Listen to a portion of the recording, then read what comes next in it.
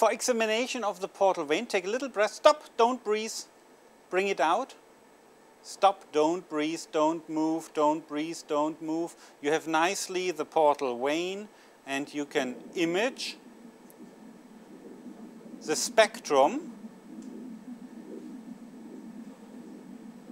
which shows postprandially some waves which are due to the hyperemia of the intestinal tract.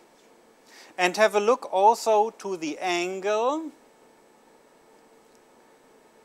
which is, let's say, in this position always below 60 degrees, which is of importance when it comes to a measurement.